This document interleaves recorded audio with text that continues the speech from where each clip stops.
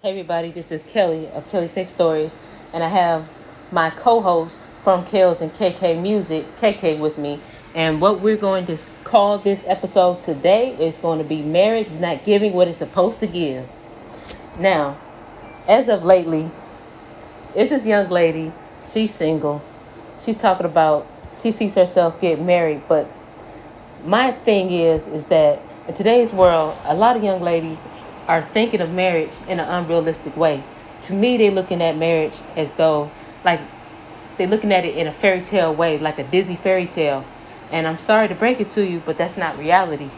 Yes, there are some good guys out here, but unfortunately, there's a lot of guys out here that's a bunch of bullshit that do a lot of fuck shit, okay?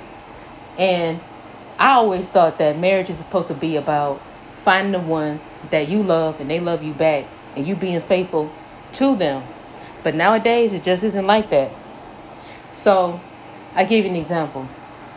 When I was working, I was working at a restaurant back in the day. I was 20 years old at the time. It was a lady that was 27.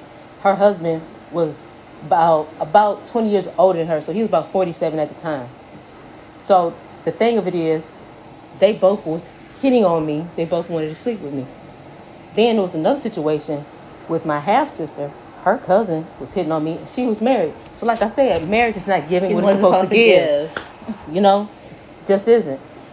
So KK, what's your opinion about marriage in today's world?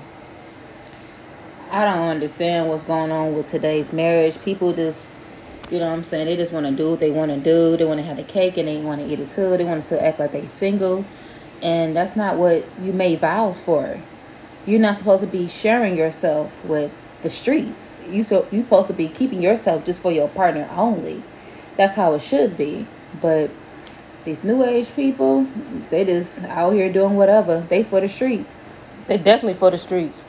They out here day and night. You know, girls like you said, she trying to get as many dicks as possible. Man might have a good man at home, but she out there doing whatever, and vice versa.